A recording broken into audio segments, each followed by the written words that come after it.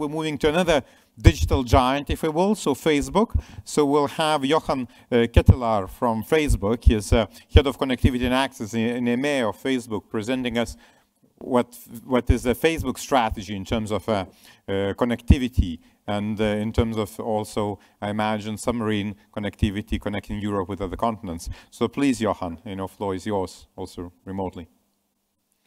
We'll... Thank you, Thomas, uh, for the kind introduction and uh, good afternoon, everybody. It's a pleasure to be here today, although not physically yet, but it's great to see that at least some people are able to be there already and get a glimpse of uh, what the future will look like. And congratulations also on uh, hosting this great event and the conference here today on this important sub subject.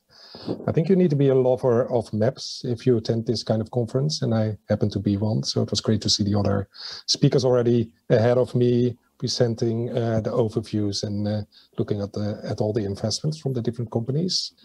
Um, my comp uh, my presentation will also contain a couple of uh, maps, so I won't disappoint you on that one. Let me try to get my deck online. one second, please.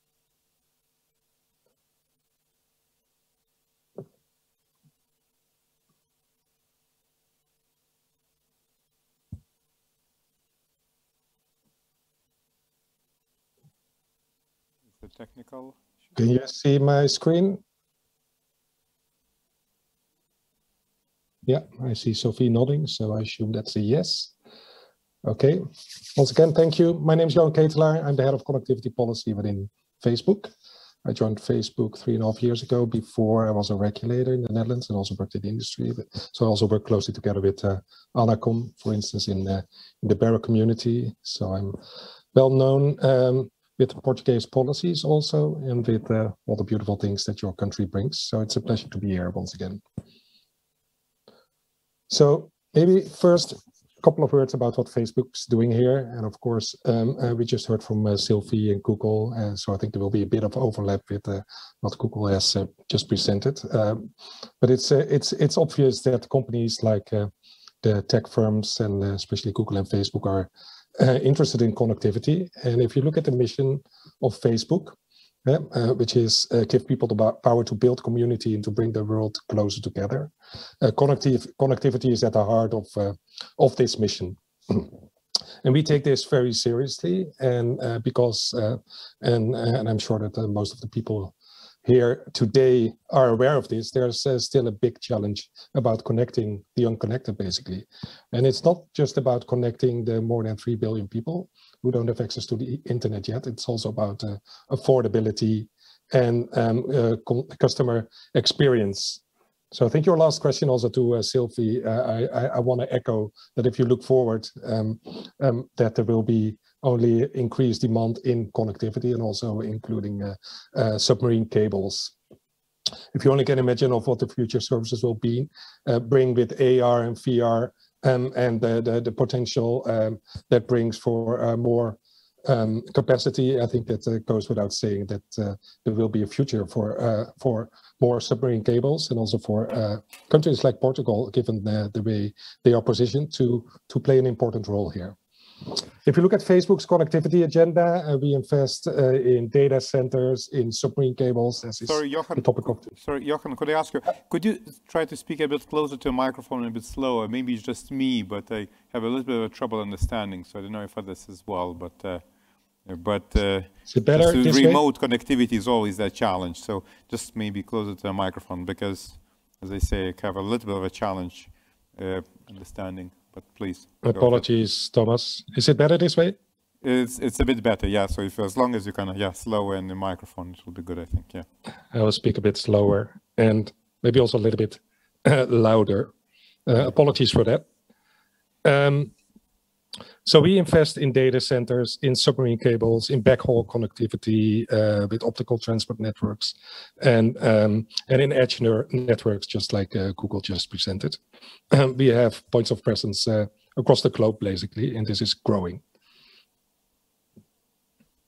if you look at the um, uh, the way we invest in um, in connectivity, we always use a partnership model.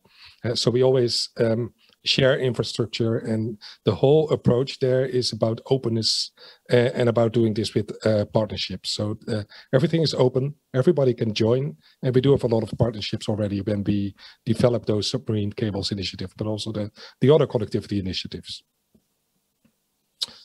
If you look at the history of uh, the, the subsea cables, and we heard the other speakers about this already, um, um, the transatlantic market, which was the most important one to date, has um, a use life of cables of about around 15 to 20 years.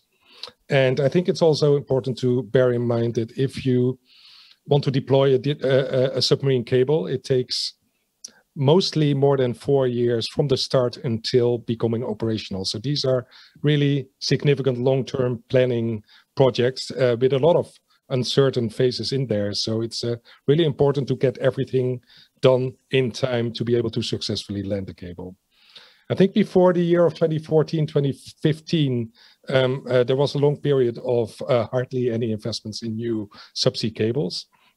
And then um, you saw that new players came to the market, including companies like ourselves. Um, Facebook and Microsoft, for instance, uh, we became uh, anchor customers to enable the GTT Express, which is a submarine cable between Canada and the UK, and the AEC, which was between the US and Ireland. Um, then, uh, after services, of course, became more popular in the whole internet, as an ecosystem uh, became more widely used, there was more need for capacity. So um, what you saw there is that basically from 2015 onwards, that the traditional wholesale players and the carriers that invested in the early uh, zeros, basically, um, um, um, had a bit of a hard time, and then the partnership model starting to to to get a little bit more crowned. And we, together with Microsoft and Telefonica, developed a new partnership model between what is so-called uh, OTTs and the carriers. And the MAREA cable system, and I will show that later on the on a map, uh, is a great example of this. So to summarize this slide, the partnership model is a model that we use and that we think is also the sustainable model, not only for Facebook, but but for anybody, anybody who's investing in the submarine cables. So moving to the next slide. Um, as I said, um, it takes uh, more than four years um, to develop a submarine cables, and um, I think it's it's also also important to point out that uh, the diver diversity in routes is important. Um, this way, increasing resiliency um, and um, making sure that there are no major um, uh, connectivity accidents and making uh, connections also redundant. So if you look at the at the, the, the map here, you see the oh, apologies. You see the different the different um, uh, submarine cables where we have uh, invested in uh, over the last couple of years. And again, as I said on my previous slide, this is all done in partnerships. So um, if you, for instance, take the Havfrue cable, I think it was also on the slide of uh, Sophie uh, before. This is a, this is a cable where we have uh, together with Google and a European carrier called Aquacomms and a European data center company called Bulk um, worked on uh, making this happen. Other um, subsea cables you see on this graph, uh, graph are uh, the MAREA cable and the Amitié cable, which is a, a, partnership model together with Microsoft, Orange, and Vodafone and Aquacomms, and which basically connects Central Europe, the UK, and France with Boston, as you can also see on, on this one. So the partnership model, um, um, as I just advocated for, brings um, a lot of advantages. I think it's it's it's it's uh, uh, an advantage to be able to maximize the number of fiber pairs in the system, and this way also lower the cost uh, of it, and therefore also um, you have less construction risks, which again leads to shorter development periods and a more predictable supply. Um, one of the uh, the things that sometimes is a challenge still is um, uh, getting permits done timely. As I said before, it's really important to have this uh, planning of those four years done in time, and there are a lot of uh, dependencies uh, along that route. So it's important to get the, the permits from the different um, um regulators and governments in time. And um, um, as I said, um, timing is important because uh, also the the um, the construction of the submarine cable is dependent on a lot of things, um, which is called, for instance, like the weather window, where you need to have stable weather conditions to be able to land just in time. So if the if the the permission and the and and the the rights you have uh, uh, needed for these kind of deployments are not done in time, um, then uh, this might be um, conflicting with the plans uh, that you have, and uh, then you won't be able to do it in time, and you might have to wait for another year, for instance.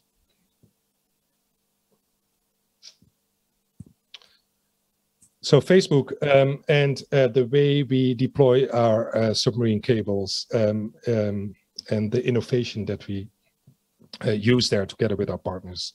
We basically the bottom line of this slide is basically that we are going for state-of-the-art um, uh, technologies. So whenever there's a new, secure, reliable technology on the market, we want to use it basically. Um, and um, this has led to new uh, technologies already deployed in the latest submarine cables. So for instance, we use SDM, spatial division multiplexing, um, uh, which is an innovative technology and um, which allowed us also to have extra fiber pairs there, um, uh, doubling the capacity in some uh, in some cables. And we also use aluminium conductors, which is a, a better alternative to the copper conductors, uh, as we uh, have used them in the past. Um, so um, we use those technologies and we have also um, enhanced cable protection technologies that we use.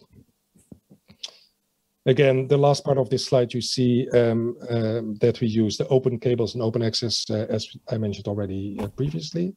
And the goals here also are to enhance competition, to foster innovation, and to make sure that we have the best security. If you look a, a couple of years uh, forward, and I uh, notice here also that there's a bit of overlap with uh, some of the slides that I've seen before. But I think in general, what you see here is that we are moving from an area where it was uh, more about connecting the US and Europe now to other continents, basically. And um, this is because of the increased demand, of course, uh, in those regions. And um, I think in line with the, the, the the, the, the remarks that uh, Sylvie made before and what I said before, you can also see increasing demand from those regions. So we are also investing in other areas than just uh, in the Atlantic. And Africa is uh, one part of that. And I don't want to compete with Sylvie's slide uh, because I don't think this is about competition, but this is about connectivity, where uh, we are all complementary to to each other. And uh, I think the partnership model illustrates this. But like others, we invest in Africa. And if you look at this this map, you also see a connection going to India and ultimately also going to Singapore. So uh, basically, we are also connecting again via partnership model here, um, um, new less connected continents uh, with the ultimate goal to connect also uh, the people living there and to make it more affordable because I think that's an important point uh, also to make out. It's not just about connectivity, it's also about affordability and user experience. Um, so 2Africa is the name of the cable that we deploy in uh, in uh, in uh, and around Africa, and this also has a landing point in uh, Portugal, as you can see here, and will go through the Mediterranean to Egypt, Port Said, uh, to the to the Red Sea, and then to India. Uh, maybe a couple of words about uh, policies. I think I uh, said already that uh, getting permits in time is an important uh, one.